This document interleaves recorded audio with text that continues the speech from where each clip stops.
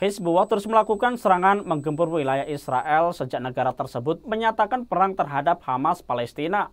Kelompok militan bersenjata yang berbasis di Lebanon itu bahkan memperingatkan Israel akan ikut berperang jika Zionis melakukan serangan darat ke Gaza.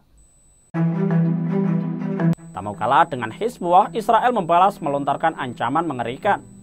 Israel mengancam akan melenyapkan Iran dan Lebanon dari muka bumi jika Hezbollah melibatkan diri dalam perang antara Israel dengan Hamas. Ancaman itu disampaikan oleh Menteri Ekonomi Israel Nir Barakat seperti yang diwartakan New York Post pada Senin 23 Oktober. Menurut Barakat, Israel memandang peningkatan Hezbollah sebagai serangan oleh Iran.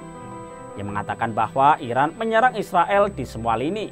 Iran disebut sebagai kepala di balik penyerangan-penyerangan yang ditujukan kepada Israel. Barkat mengatakan bahwa Iran harus membayar harga mahal jika perang terjadi di front utara. Ia kemudian mengancam akan membinasakan Lebanon dan Iran jika Hizbullah ikut berperang. Hizbullah dan para pejabat Iran disebut membantu Hamas menyempurnakan taktis serangan operasi Badai Al-Aqsa. Jika Hizbullah membuka front perang di perbatasan utara, militer Israel akan melakukan serangan tanpa ampun terhadap Iran. Hal senada juga pernah dilontarkan Perdana Menteri Israel Benjamin Netanyahu. Netanyahu mengatakan Hezbollah akan mengalami kehancuran yang belum pernah terjadi sebelumnya jika secara resmi bergabung dalam perang.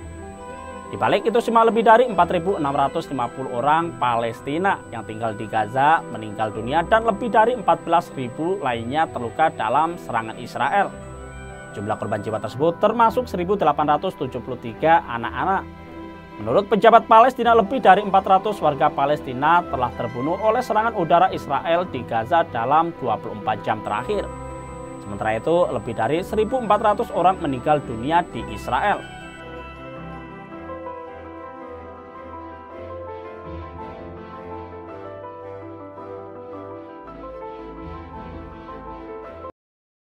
Jangan lupa follow, like, dan subscribe sosial media Tribun Jateng.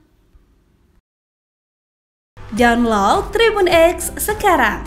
Menghadirkan lokal menjadi Indonesia.